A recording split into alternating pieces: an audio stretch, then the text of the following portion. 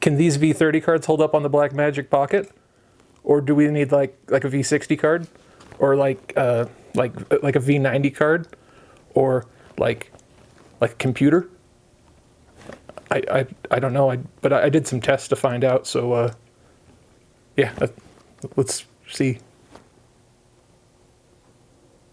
With the new 6.2 update with Blackmagic, we we now have BRAW, which if you haven't been following, is a new file format that is a .mov file that still retains all the qualities of a uh, of a RAW file, like a DNG file. So you can still control ISO and white balance and stuff like that, and you have a lot more image information, just just like a raw video file. Now there's uncompressed formats of it, which on the Blackmagic is yeah Q0 constant quality and 3.1. Those are the high end ones, and then we also have um, higher compressed ones 12.1, 8.1, 5.1, and these are all still really good file formats, but they have very small um, data transfer rates, megabyte rates per second. So theoretically, we should be able to use small cards like this. This is the SanDisk Extreme Pro. Uh, 95 megabyte a second card. This is the one I used on my first Blackmagic Pocket, and I didn't think I could use it for much more than you know the HD 1920 by 1080 files that were uh, on the new Pocket. But with these smaller file formats, we should be able to use this now. So I went out and did some tests. I wanted to test out some of the cheaper cards that are more popular and just kind of see how they hold up. I tested two V60 cards and I tested two V30 cards. Now the V30 cards, I'll just get right into it, are the same, are pretty much the same card. They're the SanDisk Extreme Pros. They should be able to hold, according to their rates about uh, 95 megabytes a second, which should pretty much be everything uh, 5.1 BRAW and below. This this one is the 95 megabyte a second one, and this one is their newer um, 170 megabyte a second card. Now here's the thing: these are the same card. Um, the 170 megabyte thing is actually just a read speed, not write speed.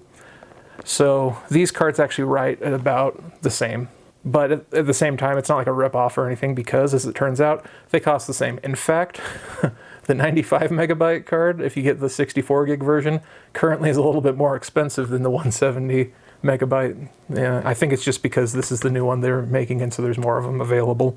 Price on these aren't too bad. $40 for 128 gigs and uh, $80 for 256 gig. So that's going to give you quite a bit of time recording in B-RAW, and I'll go through the times in a little bit here. Um, the other two cards I did, well, the one is the very popular Lexar 1000X, and I can't show you that. I'll just, like right here, yeah, because it's actually recording this in the GH5 right now. The other one is this hot ticket thing off of uh, Amazon. It's uh, the Amplim uh, Duradata V60 190X card that goes at 285 megabytes a second. It's supposed to be do everything pretty much that a V90 card can do. It's supposed to be wonderful, and it costs $130 for the 128 gig, so about a dollar a gig there. But that's still about half the price of a V90 card. So if this can do everything on the Blackmagic, this could be really good.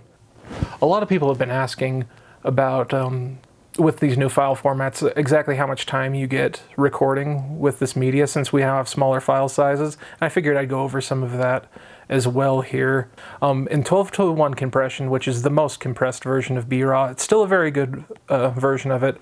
Um, on a 128 gig card, which is where I recommend uh, starting out, and you'll, you'll kind of know why once I go through the, these times. Uh, at 30 frames a second, you get 60 minutes. At 24 frames a second, you're going to get 71 minutes. That's really good. In 8 to 1 compression, you are going to get, um, at 30 frames a second, you're going to get 40 minutes of record time.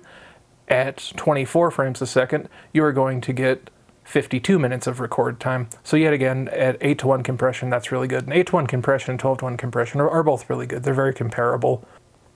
At 5 to 1 compression, you're going to get 32 minutes at 24 frames a second, and you're going to get 24 minutes at uh, 30 frames a second. Now, remember that with B-RAW, 3.1 and Q0, Blackmagic recommends to only be used with things like uh, special effects work, compositing work, green screen stuff. And with most feature work, um, they said 5 to 1 is going to be your standard, and they said 8 to 1 and 12 to 1 are actually good as well. And th- that it opens up the possibility for things like weddings and documentary work, so you can kind of shoot everything in RAW. So most of the time, you're just going to be 5 to 1 or lower, and so that's pretty much what you need to be focused on. Now, if by chance you do need 3 to 1 or Q0, it's not really a big deal at all. Um, you can still use the, the SSDs like the Samsung T5 500 gig SSD that I use. That can handle all the file formats at all the frame rates, and it's only $100, but it is external on your camera. On my small rig here, I just mount it right there, and it plugs in right here to the side. It's a little inconvenient to have, but, but not really that bad. And so, I mean, if you need it and you still want to keep things on the cheap, I just recommend doing that. And if you're just shooting regular uh, footage, it, it's okay to use just these SD cards that can shoot 5 to 1 or lower. So with these cards, the main thing that you want to look into is can they shoot at these compressions at 30 frames a second or uh, lower? Because most of our professional work is going to be NTSC, which is 30 frames a second, 29.97, or uh, movie work, which is 24 frames a second, or like with Netflix, you know, 23.98. And so that's pretty much where you want to be with these cards. The results are pretty surprising, actually. Um, actually, they're, they're really surprising and they kind of don't make sense. But uh, the SanDisk cards, the 170 and this 95 one, where's the 170? Right here. These guys. Those are going to do um, those do BRAW at 5 to 1 compression, 8 to 1 compression, and this is 30 frames or lower and 12 to 1 compression.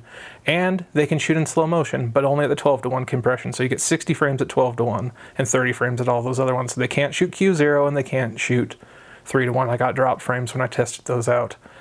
Um, so those held up really good. That means you can use it for pretty much all of the general work that you're going to do, like on a film. So I was curious about you know how these V60 cards would hold up because theoretically they should be able to.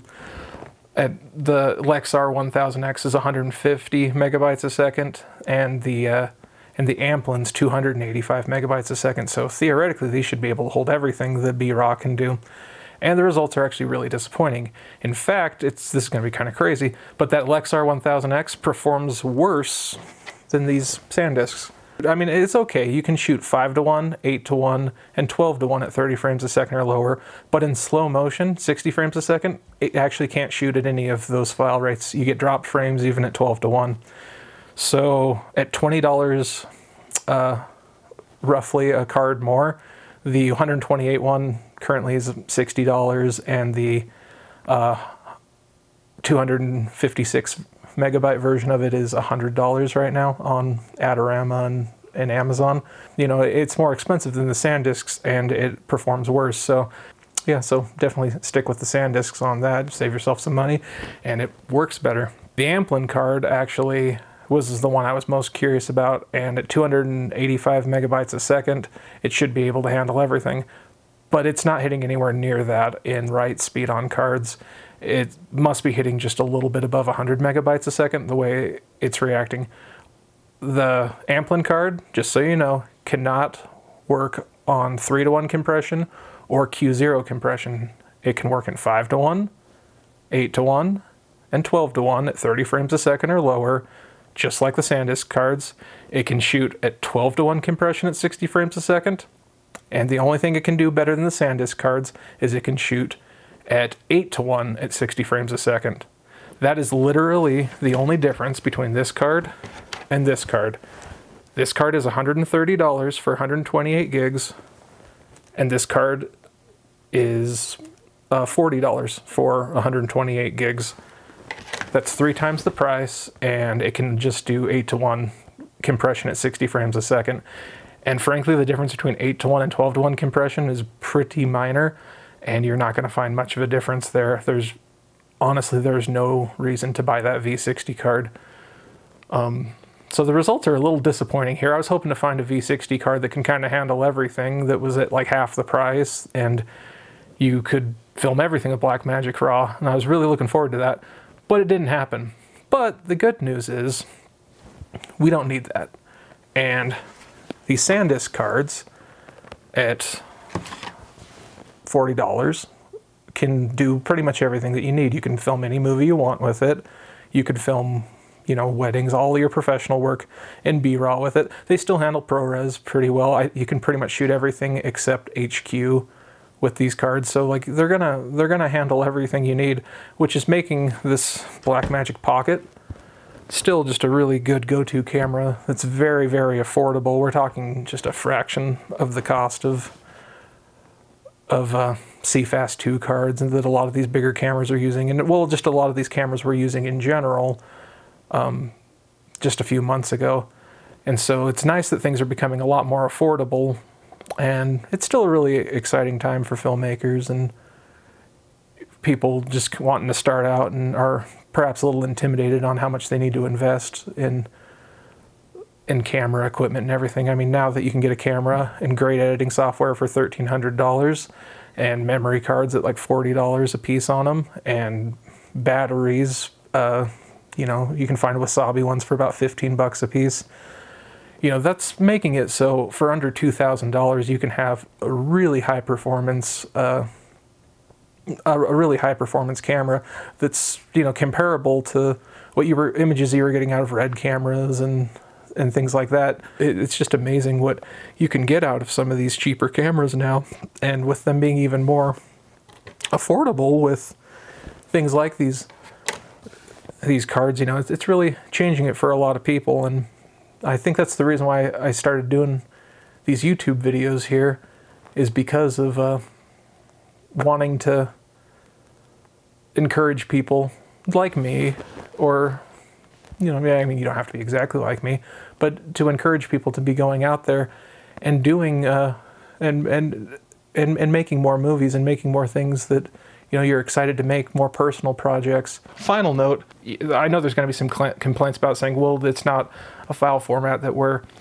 ready to be uh, editing with, with everything and that ProRes is still the way to go. And actually, I agree with that. I wouldn't be using B-RAW right now with anything other than um, kind of testing stuff out while we're working quirks out because DaVinci is kind of the only thing that like works with it. So unless you're really good at DaVinci and you feel confident in there, I wouldn't recommend doing B-RAW with anything other than with anything other than kind of like testing purposes, I'd still be shooting ProRes in most everything that you're doing right now. I get it, but it's still important to be doing these videos. In the future, you know, ProRes, RAW, uh, Blackmagic RAW, all, all these all these new formats that are coming out, they're going to be kind of where stuff's heading, and so it's important for us to be testing things out kind of out the gate and figuring out things that don't work and making things, you know, finding solutions.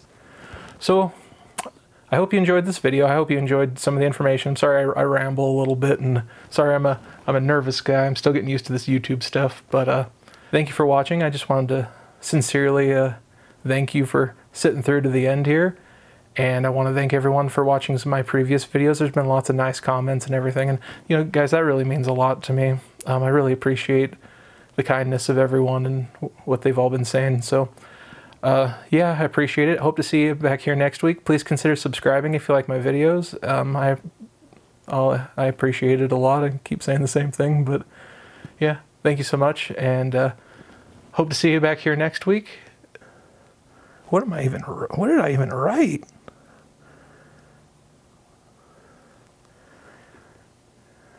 I should just say it like a normal person. Whoa. I don't I don't know what I'm doing.